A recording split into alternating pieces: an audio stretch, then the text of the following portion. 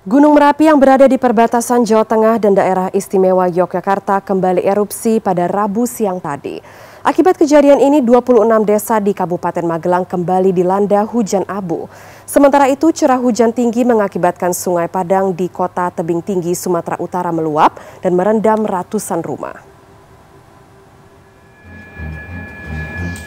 Erupsi Gunung Merapi yang kembali terjadi pada pukul 10 lebih 13 menit menyebabkan terjadinya hujan abu vulkanis tipis yang melanda 26 desa di enam kecamatan di Magelang, Jawa Tengah.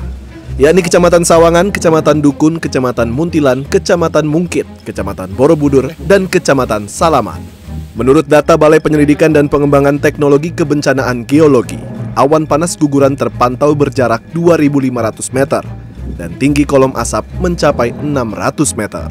Saat ini status Gunung Merapi masih berada di level siaga 3 dengan ancaman bahaya berupa luncuran awan panas sejauh maksimal 5 km ke sektor barat hingga tenggara.